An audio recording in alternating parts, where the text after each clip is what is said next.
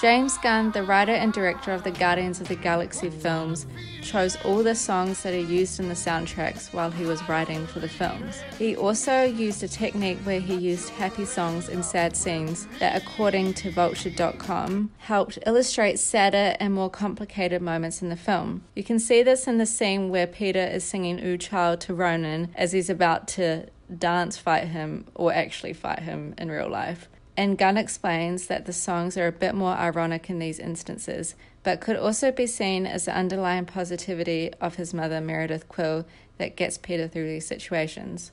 I thought that was a very unique outlook and something I hadn't thought of whilst watching these films.